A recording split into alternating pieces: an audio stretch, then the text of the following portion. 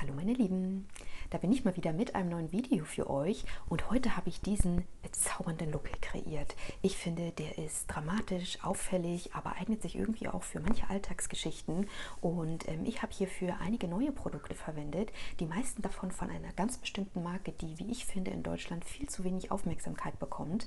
Also seid auf jeden Fall gespannt und falls du meinen Kanal gerade erst kennenlernst und dir mein Content, mein Video hier gefällt, dann würde ich mich sehr freuen, wenn du mir ein Abo da lässt und wenn du anschließend das kleine Glöckchen hier unter dem Video einmal aktivierst, dann bekommst du auch jedes Mal eine Nachricht, wenn ein neues Video von mir online geht und das alles ist für dich auch völlig kostenlos. Und wenn ihr sehen wollt, wie ich zu diesem schönen Look gekommen bin, welche Produkte ich verwendet habe und welche Marke ich da meinte, dann würde ich sagen, bleibt jetzt dran.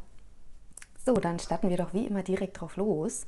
Als erstes möchte ich einen Primer auftragen. Meine Hautpflege ist schon einige Stunden her, es ist schon nachmittags und ähm, ich kann auf jeden Fall sagen, dass ich dann auch eher mal einen Primer verwende. Normalerweise bin ich ja nicht so der absolute Fan von Primer oder der absolute Verfechter von Primer.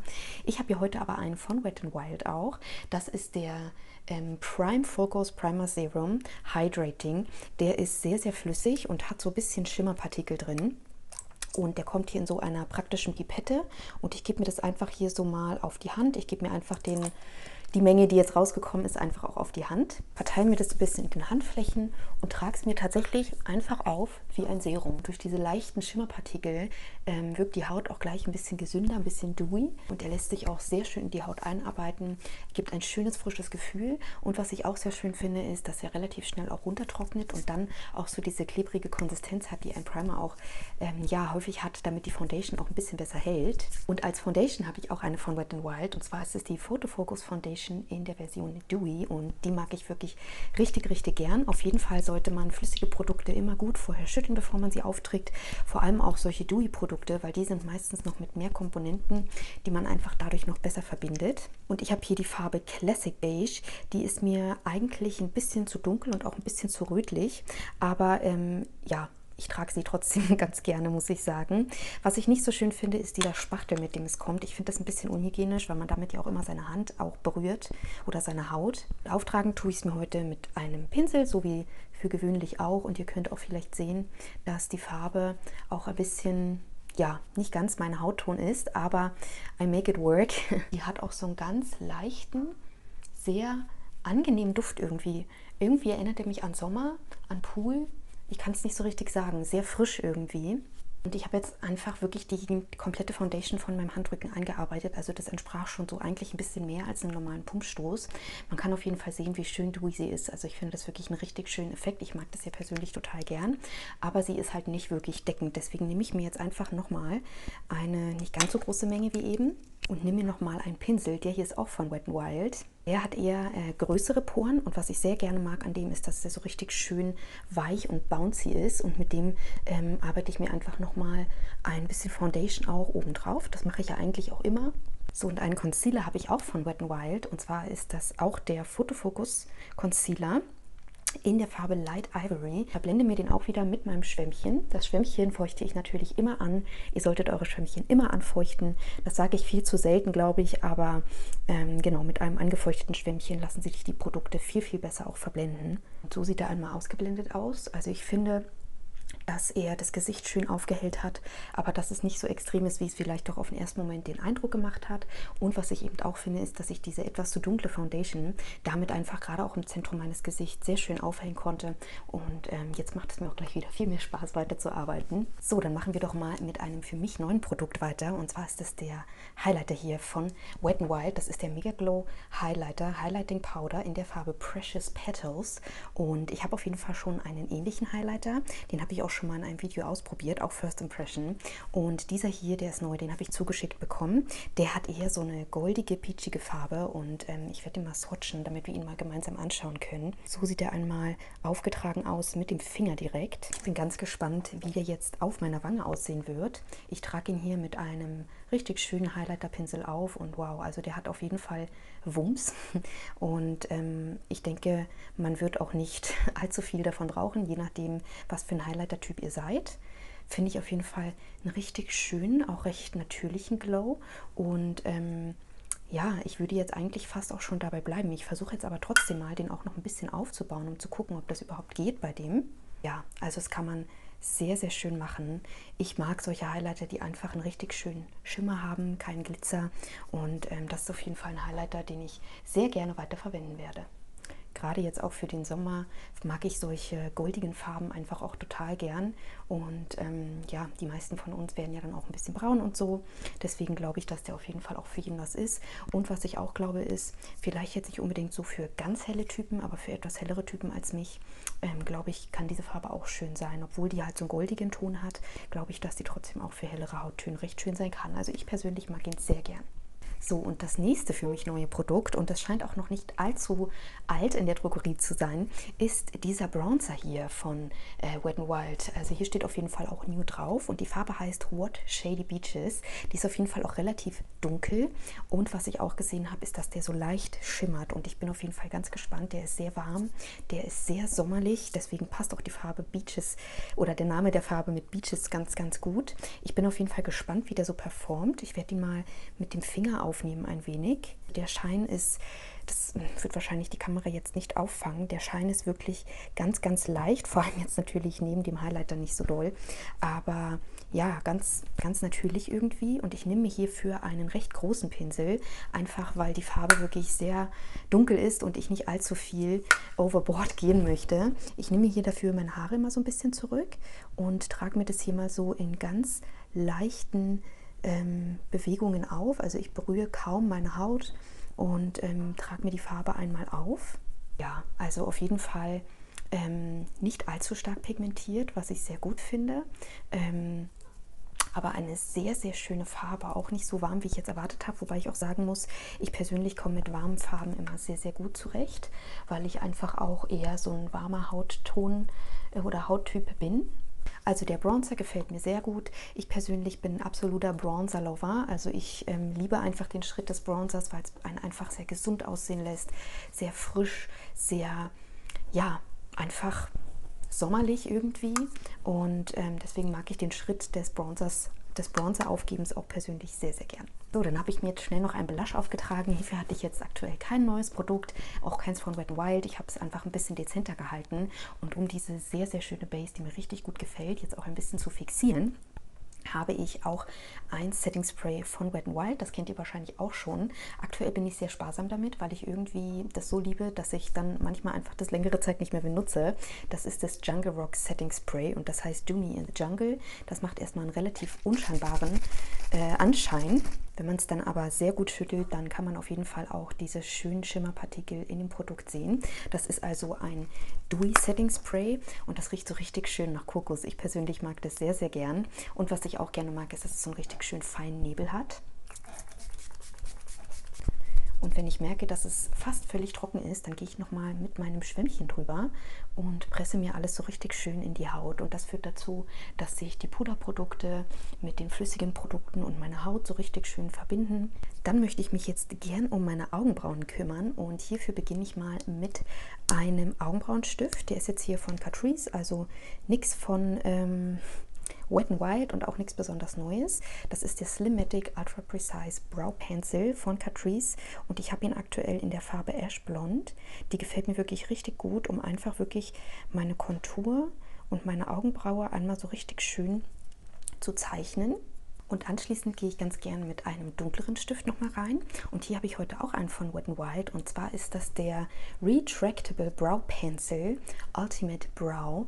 Der hat ähm, auf der einen Seite so einen Spoolie und auf der anderen Seite hat er so eine tropfenförmige Mine.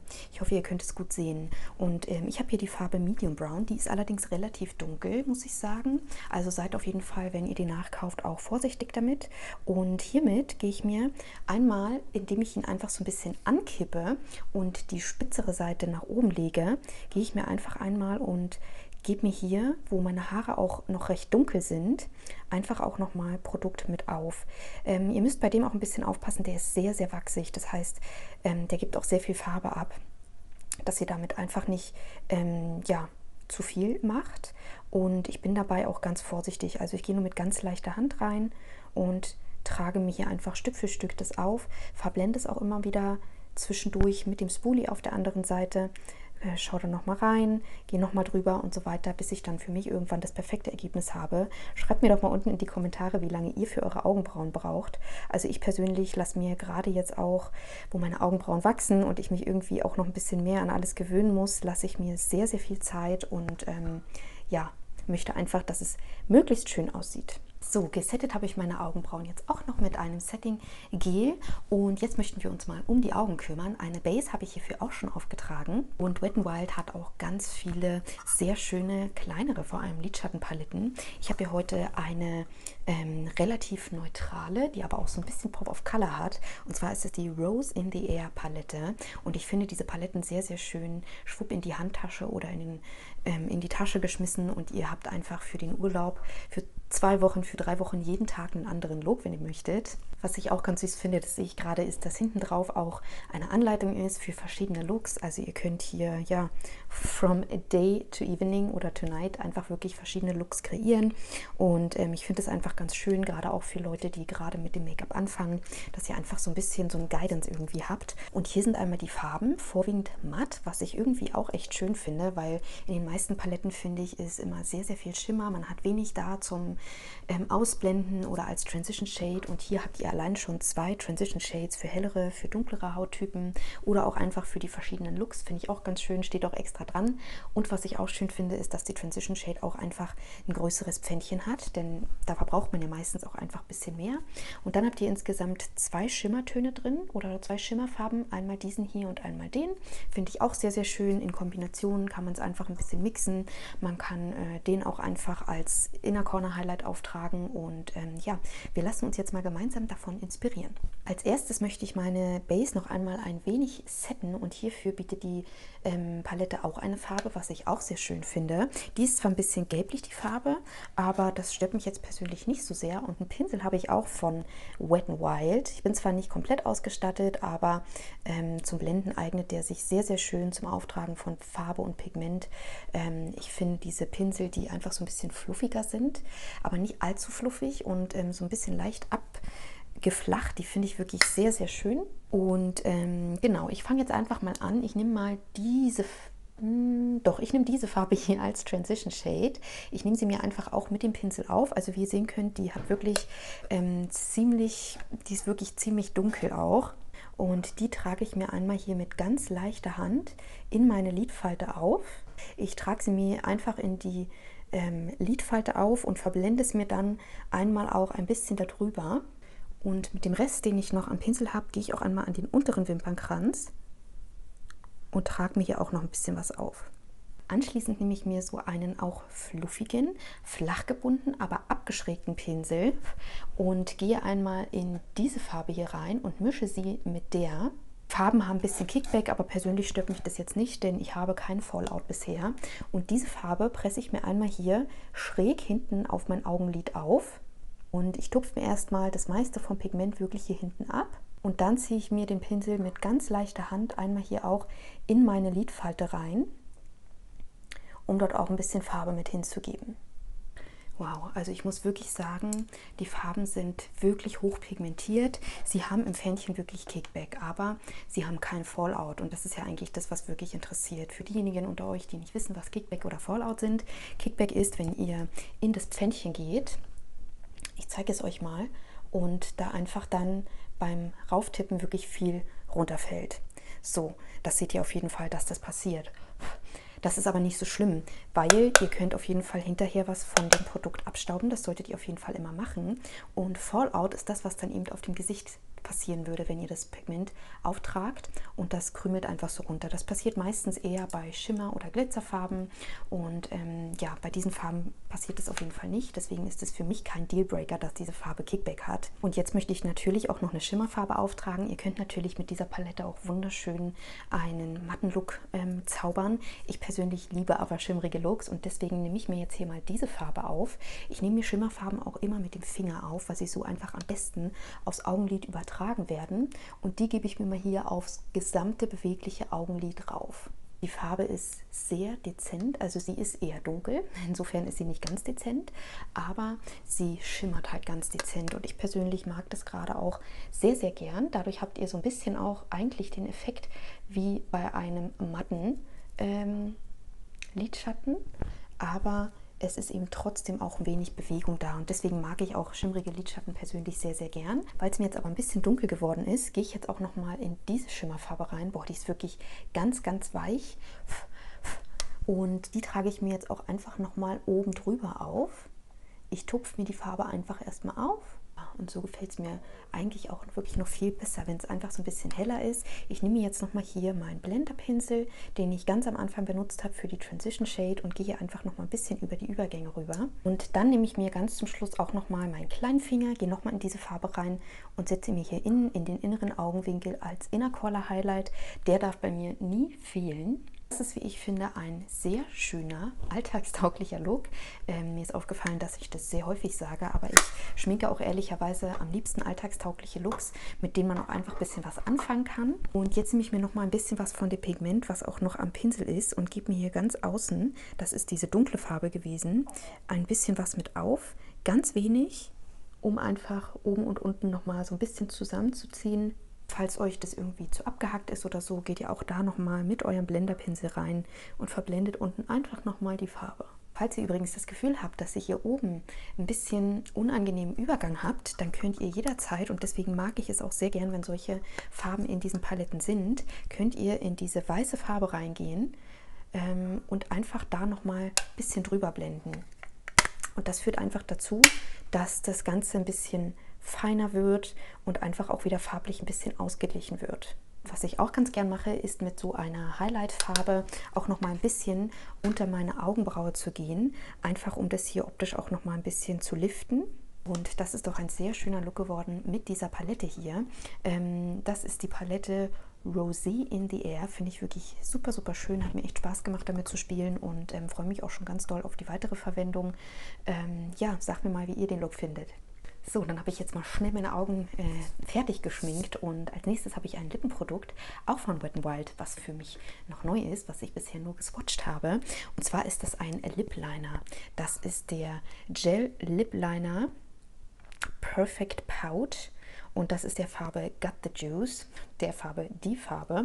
Und der hat so eine richtig schöne Farbe, die auch sehr, sehr schön zu dem Augen-Make-up passt. Ich hoffe, dass äh, er nicht zu dunkel ist, denn wenn ich das jetzt hier so rausdrehe, sieht es auf jeden Fall relativ dunkel aus.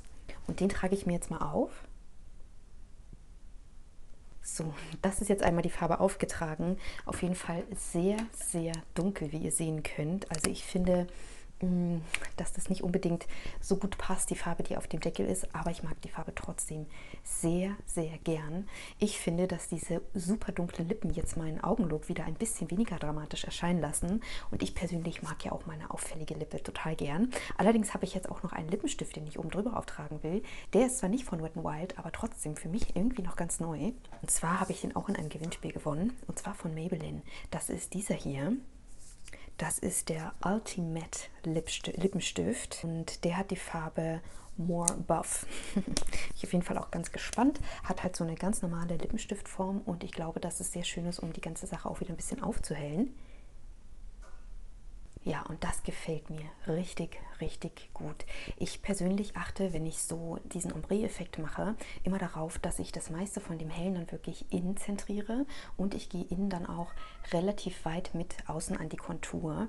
Und das äh, macht, dass meine Lippen viel voller wirken und ich finde diesen Look total schön. Ihr könnt mir jetzt mal schreiben, ob ihr das auch so schön findet wie ich. Ich mag es gerade total gern. Ich persönlich würde den Look im Alltag schon tragen, vielleicht nicht unbedingt zur Arbeit, aber wenn ich jetzt irgendwie einkaufen gehe oder so, äh, wenn dann die Maskenzeit irgendwann vorbei ist. Ich würde ihn wahrscheinlich auch nicht auf eine Hochzeit oder so tragen, aber jederzeit zum Geburtstag oder sowas. Für eine Hochzeit ist es mir einfach ein bisschen zu sehr auffällig. Bei einer Hochzeit möchte man ja auch, dass die Braut heraussticht und nicht man selbst. Aber ich mag das persönlich total gern und ich freue mich richtig, dass ich diese Produkte jetzt ausprobiert habe. Schreibt mir doch gerne ganz viele Kommentare unten rein, wie ihr es findet, was euch vielleicht auch am besten gefallen hat an diesem Look, an diesen Produkten. Und ich bedanke mich jetzt natürlich bei euch allen fürs Zuschauen bis hierhin. Freue mich schon sehr aufs nächste Video mit euch und bis dahin sage ich erstmal bis bald. Bye bye.